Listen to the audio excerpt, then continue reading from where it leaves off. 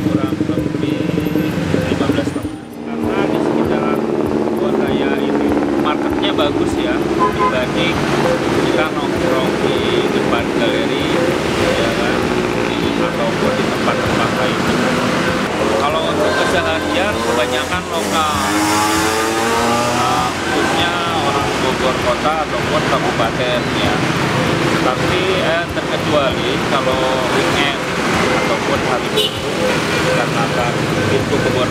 dibuka itu banyak yang dari luar Bogor. Seperti yang dari Jakarta. Cuman mereka dia lebih suka yang instan. Yang memang 15 menit jadi gitu kan. Uh, ini sih setiap kita